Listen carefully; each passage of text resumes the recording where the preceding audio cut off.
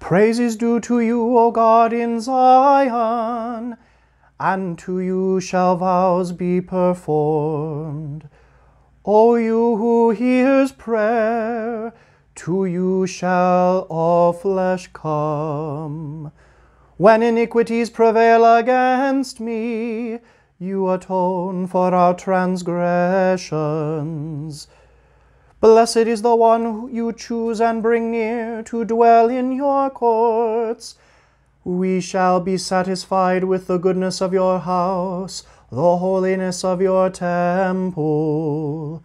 By awesome deeds you answer us with righteousness, O God of our salvation, the hope of all the ends of the earth and of the farthest seas. The one who by his strength established the mountains, being girded with might, who stills the roaring of the seas, the roaring of their waves, the tumult of the peoples, so that those who dwell at the ends of the earth are in awe at your signs. You who make the going out of the morning and the evening to shout for joy. You who visit the earth and water it, you greatly enrich it. The river of God is full of water. You provide their grain, for you have prepared it. You water its furrows abundantly, settling its ridges. You softening its showers and blessing its growth. You crown the year with your bounty.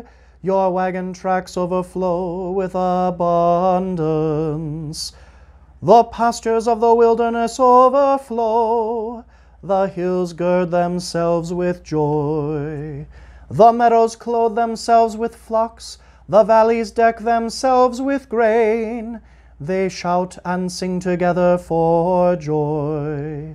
Glory be to the Father and to the Son and to the Holy Spirit, as it was in the beginning, is now, and will be forever. Amen.